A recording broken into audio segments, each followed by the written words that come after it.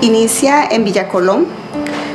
Mis padres allá eh, iniciaron todo ese proyecto. En ese tiempo el padre Varela, Ramón Secundino Varela, era párroco en Villa Colón.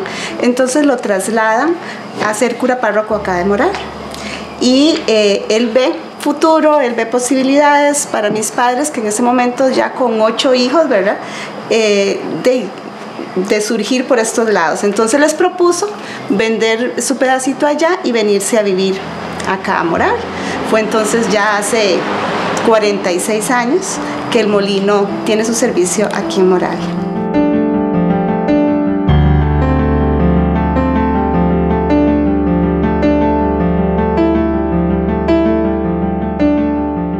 El molino estuvo acá en la casa de mis padres eh, aproximadamente como unos tal vez cinco años. Luego abrieron como una pulpería, era un molino grande y luego se traslada alrededor del Banco de Costa Rica aquí en Moravia y por ahí se mantuvo como 26 años aproximadamente. Por cansancio deciden cerrar y trasladar otra vez el molino aquí a la casa, pero solo abrir en Navidad. Ellos se levantaban a las 2, 3 de la mañana y a esa hora iniciaban sus labores eh, principalmente en Navidad, nosotros, todos los hermanos, en algún momento nos levantamos a las doce y media, una de la mañana, para iniciar el, el trabajo en el molino, para dar el servicio de la masa y de la molida en, en el tiempo que más se vende, ¿verdad? Para los tamales.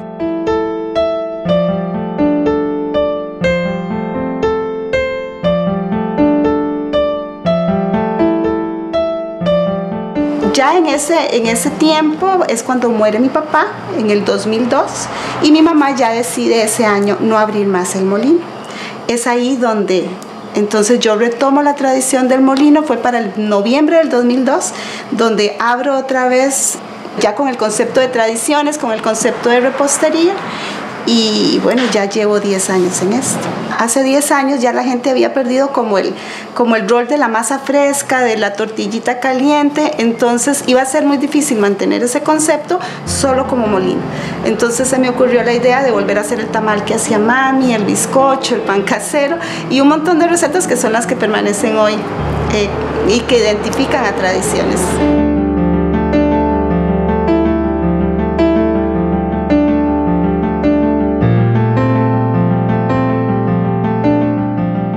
El maíz aquí se muele exactamente como se hacía hace 26 años, eh, como lo preparaba mi mamá.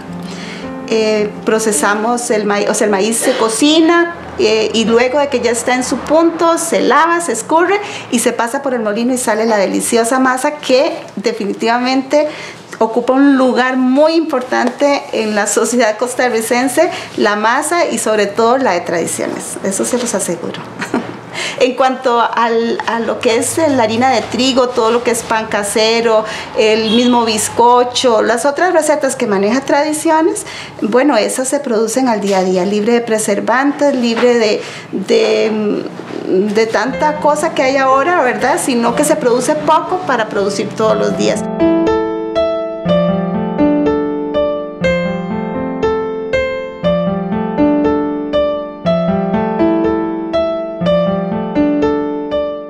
Yo abrí Tradiciones sin Miedo.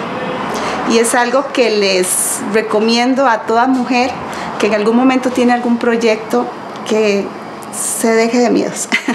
Porque sinceramente la práctica que yo tenía era eh, la de la casa. La práctica que yo tenía era el cuidado a mi familia, a la amiga que invitas a tomar café o a la actividad familiar. Pero ya había algo en, el, en mí que me decía que era el momento de, de poner algo a funcionar. Entonces, así nace Tradiciones, la verdad, sin miedo.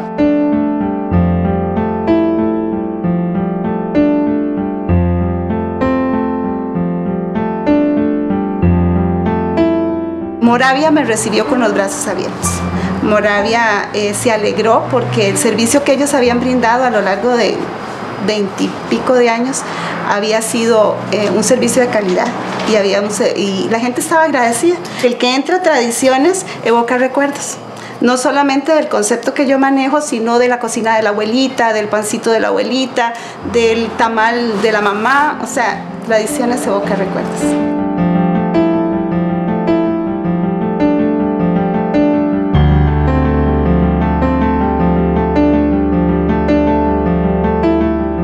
Es un negocio que tiene trayectoria, es un negocio que la gente le ha tomado cariño y, que no, ya no pasa desapercibido el concepto, aparte de que el tico con toda su globalización em, ama su cultura, su cultura culinaria. Le cuesta un poquito defenderla, pero sin embargo, eh, cuando se la ponen en la mesa o cuando se la ponen con bonitas fotos o con bonita presentación, que es lo que Tradiciones hace todos los días, eh, lo adopta inmediatamente y lo, y lo ama.